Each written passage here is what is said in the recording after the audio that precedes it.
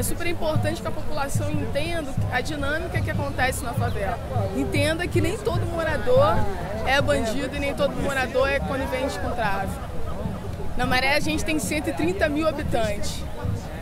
Se 130 mil habitantes, quando, como pensa né, o senso comum, e normalmente a população fossem traficantes, bandidos, a cidade do Rio de Janeiro seria um caos. Tem uma percepção equivocada que é muito manipulado pela mídia, né? É isso. Quem morreu? Traficante. Não interessa quem morreu, qual, que que ele, qual era a sua, a sua atividade. É, é, é, uma pessoa e ela não tem direito de morrer, o Estado não tem o direito de tirar uma vida de ninguém.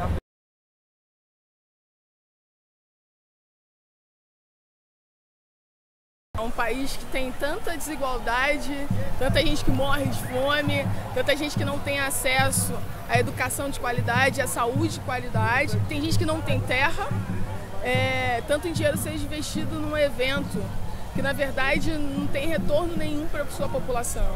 Na verdade é uma festa para as pessoas de fora. Né? A nossa escola tá, tá uma merda, assim, é cada vez pior a, condição da escola pública, dos hospitais públicos. E se pega milhões nosso, nosso dinheiro e investe para um evento que, que não agrega, que não contribui para uma cidade melhor,